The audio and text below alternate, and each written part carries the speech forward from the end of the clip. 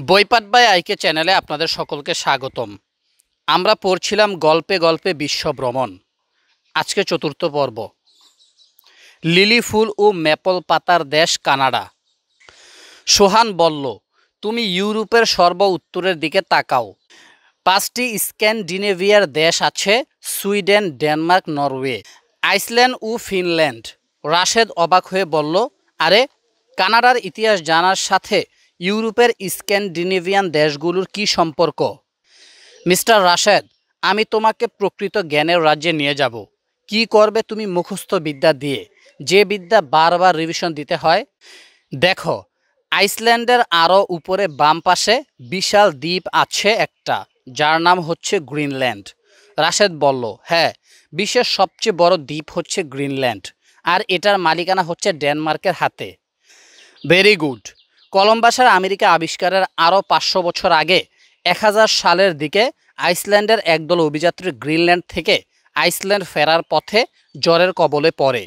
তারা দিক হারিয়ে লেব্রাডর সাগর পার হয়ে বর্তমান কানাডাতে পৌঁছে। ঐতিহাসিকদের মতে, কানাডার নিউ ফাউন্ডল্যান্ড এলাকায় তারা বসতি স্থাপন করে। রাশেদ বলল, তাহলে তো বলা যায় আমেরিকা প্রথমে আবিষ্কার করে স্ক্যান্ডেভিয়ান দেশগুলো।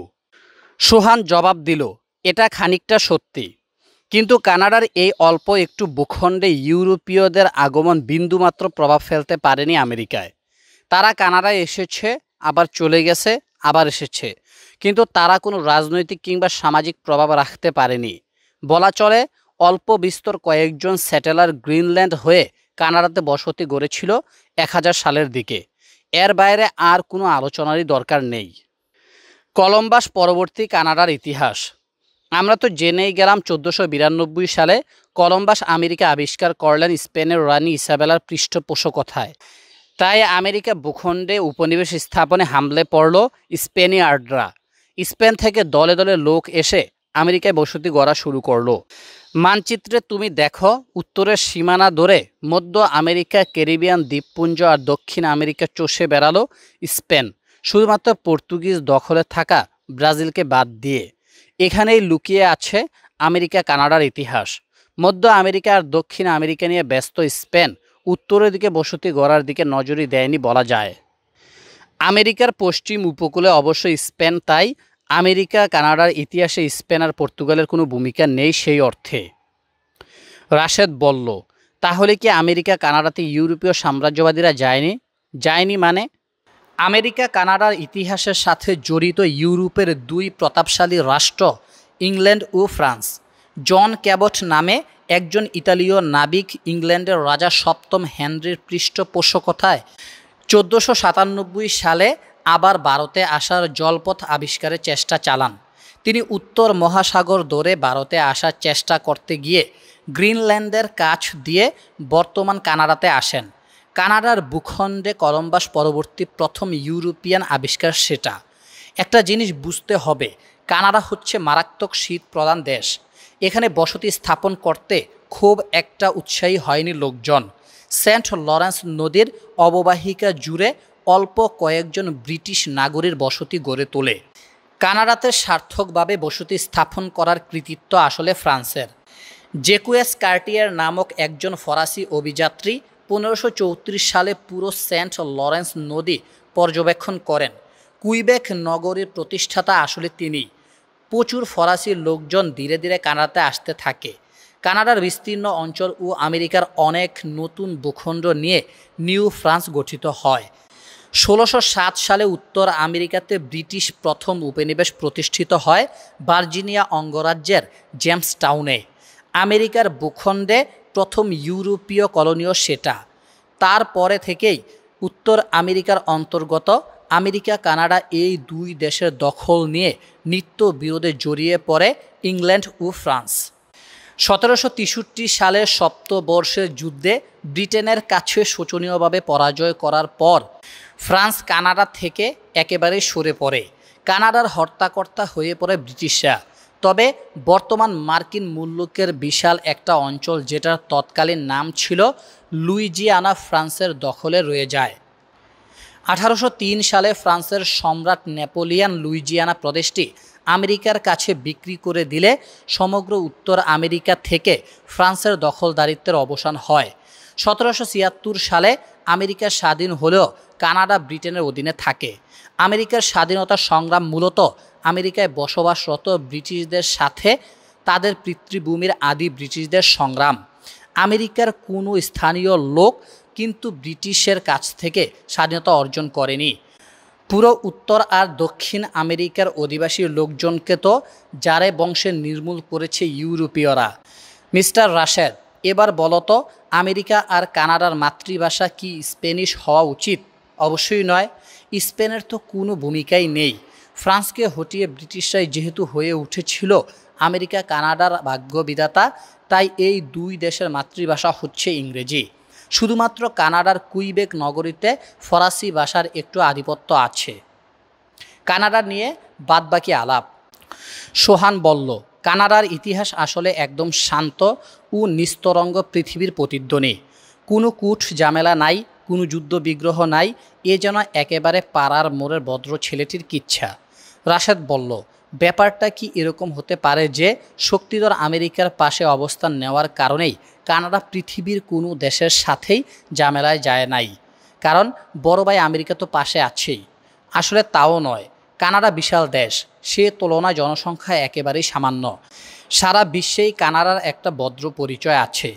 চলো আমরা এসব আলোচনা না করে ইতিহাসের দিকে একটু নজর দেই। সতেরোশো তেষট্টি সালে সপ্তবর্ষের যুদ্ধের পর কানাডা পুরোপুরি ব্রিটিশের দখলে আসে। তারপর কানাডার নিস্তরঙ্গ জীবনে একটু ঝামেলার সৃষ্টি হয়। আঠারোশো বারো সালে নবীন মার্কিন যুক্তরাষ্ট্র তৎকালীন বিশ্বের অন্যতম শ্রেষ্ঠ পরাশক্তি ব্রিটেনের বিরুদ্ধে যুদ্ধ ঘোষণা করে। আসলে ব্রিটেন আমেরিকাকে জ্বালিয়ে মারছিল বেশ কয়েক বছর যাবৎ। ইউরোপে তখন তাণ্ডব চালাচ্ছিল নেপোলিয়ান। ব্রিটেন চেয়েছিল আমেরিকা তার পাশে থাকুক। এটা তো সবাই জানে, ফ্রান্সের সহায়তায় আমেরিকা স্বাধীন হয়, তাহলে সে কীভাবে ফ্রান্সের বিরুদ্ধে যায়? ব্রিটেন আমেরিকার বাণিজ্যিক জাহাজগুলো আটকিয়ে দিল। ফ্রান্সের সাথে কিছুতেই তাকে ব্যবসায়িক সম্পর্ক স্থাপন করতে দিবে না। এ পরিস্থিতিতে মার্কিন যুক্তরাষ্ট্র আঠারোশো বারো সালের আঠারোই জুন যুদ্ধ ঘোষণা করে এবং কানাডা আক্রমণ করে। যেহেতু কানাডা ছিল ব্রিটিশ কলোনি কানাডার মাটিতে সামান্য রক্তপাতের একটি উদাহরণ সেটি। কানাডা শাসন করতে ব্রিটেন আর কোনো ঝামেলায় পড়েনি। আঠারোশো সাতষট্টি সালে ব্রিটেন কানাডাতে পূর্ণ স্বায়ত্তশাসন দিয়ে দেয়। কানাডা পরিপূর্ণ স্বাধীনতা পায় উনিশশো বিরাশি সালে। অবশ্য সাংবিধানিকভাবে কানাডার সরকার প্রধান এখনও ব্রিটেনের রাজা বা রানী। কানাডার মুদ্রায় ব্রিটেনের রানীর ছবি আছে। কানাডার রাজধানীর নাম হচ্ছে অটোয়া। রাশেদ বলল, আমার মনে হয় কানাডাকে নিয়ে আর কোনো আলোচনা করার দরকার নাই। কারণ বিসিএস লিখিত পরীক্ষায়ও কোনোদিন দেখিনি কানাডার রাজনীতি পররাষ্ট্র নীতি নিয়ে কোনো প্রশ্ন আসতে। সোহান বলল, ঠিক তাই। কানাডা সম্পর্কে যে তথ্যগুলো দিলাম, সেগুলো কেবল সংগ্রহে রাখো। এবার মেক্সিকোর দিকে যাত্রা শুরু। উত্তর আমেরিকার অন্তর্গত মোট তিনটি দেশ, যথা আমেরিকা, কানাডা ও মেক্সিকো। এই তিনটি দেশ নিয়ে মুক্ত বাণিজ্য অঞ্চল নাফটা গঠিত। নাফটা মানে North American free trade agreement. America ও কানাডা থেকে একটু পার্থক্য আছে মেক্সিকোর ইতিহাস। মেক্সিকো ছিল পুরোপুরি স্পেনিশ কলোনি। কলম্বাস কর্তৃক চোদ্দোশো বিরানব্বই সালে আমেরিকা আবিষ্কারের পর স্পেনিশরা মেক্সিকো দখল করার অভিযানে নামে। আর স্পেনিশ কলোনি মানেই তার বাসা হচ্ছে স্পেনিশ আর মুদ্রার নাম পেসো। স্প্যানিশ নারীরা ও পুরুষেরা যাকে যাকে মেক্সিকোতে পাড়ি জমাতে থাকে পনেরোশো সালের পর থেকে। মেক্সিকোতে তখন বিরাজ করছিল আইজেক সাম্রাজ্যের শাসন। পনেরোশো সালে স্প্যানিশ অভিযাত্রী হার্নান কর্টেজ মেক্সিকোর উদ্দেশ্য যাত্রা শুরু করেন পাঁচশো লোক ও এগারোটি জাহাজ নিয়ে। পনেরোশো সালের ফেব্রুয়ারিতে কার্টেজ মেক্সিকো পৌঁছেন। একটি জাহাজ রেখে বাকি সবগুলো জাহাজ তিনি জ্বালিয়ে দেন যাতে পিছু হটার কোনো সুযোগ না থাকে। মেক্সিকো শাসন করত তখন আইজেক সাম্রাজ্যের শাসক মন্টে জুমা স্থানীয় অধিবাসীদের মধ্যে বিভেদ সৃষ্টি করে পনেরোশো একুশ সালে হার্নান কটেজ আইজেক সাম্রাজ্যের রাজধানী টনে চচিতলান দখল করেন। মেক্সিকোর স্থানীয় অধিবাসীদের নিষ্ঠুরভাবে হত্যা করেন স্পেনিয়ার্ডরা এভাবে মেক্সিকো পুরোপুরি স্পেনিশ শাসনের অন্তর্ভুক্ত হয়।